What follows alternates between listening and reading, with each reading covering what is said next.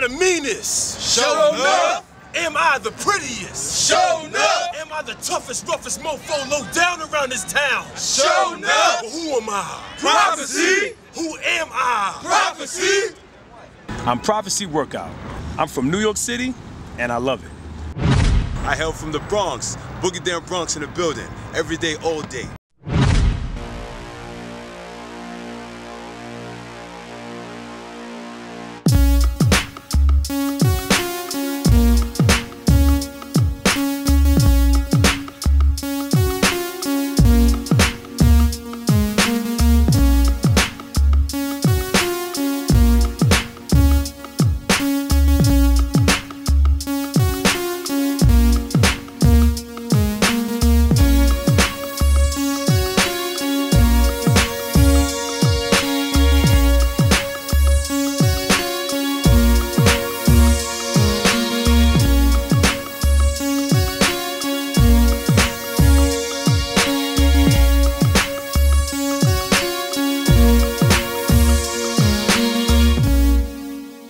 I'm passionate about working out. I do it wherever I can and wherever I am.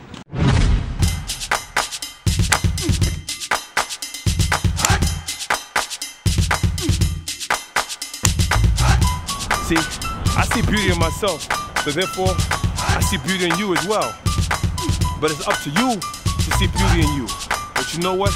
I'm taking that negative energy and I'm making it positive. So, at the end of the day, and the beginning of the day, I love me, and it's up to you to love you. Take care of your body.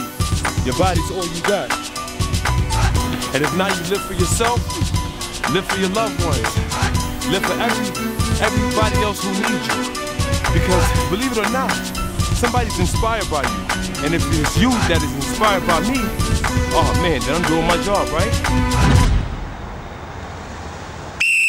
You ready to work out, soldier? It's time to work out, not just hope that everything work out. I'm trying to stop you from taking the hurt route, so put the word out. While talking about health and how to better yourself, because the thing that's gonna keep us living is now wealth. You can have everything that money can buy, but you can't take none of that with you when you die. But if you love yourself and love your neighbor, you'll be able to enjoy the fruits of your labor. No sex, drugs, or violence, or where the party at. Now, how is that gonna stop us from catching a heart attack? Life could be a short, sad song minus the chorus, or huge and exciting like Times Square to a tourist. Tourist, tourist, tourist.